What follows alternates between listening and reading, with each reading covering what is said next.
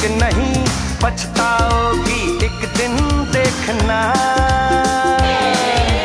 भागोगी तुम दबाके तुम।